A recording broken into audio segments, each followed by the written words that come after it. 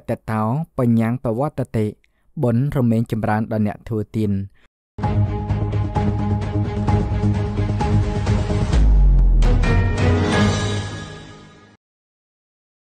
លោកអ្នកសប្បុរសជាទីមេត្រី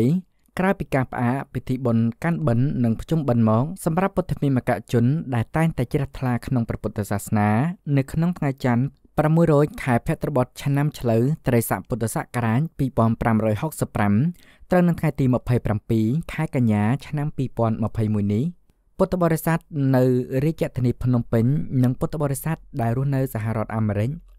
មានសេចក្តីជ្រះថ្លាបានចូលរួមបុណ្យសម្រាប់ទ្រទ្រង់ចង្ហាន់ព្រះសង្ឃក្នុងរដូវកាលកាន់បិណ្ឌ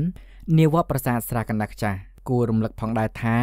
សម្រាប់វត្តប្រាសាទស្រះកណ្ដាលខ្ចាស់ខេត្តបន្ទាយមានជ័យសប្តាហ៍ថ្ងៃនេះមានព្រះសង្ឃគង់នៅចំនួន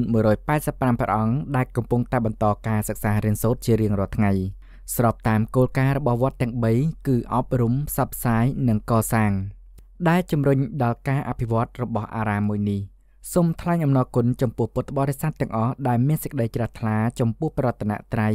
និងសូមជួបប្រទះតែនឹងពុទ្ធពរ4ប្រការគឺអាយុវណ្ណៈសុខៈនិងពលៈ កំបីឃ្លៀងឃ្លាតឡើយ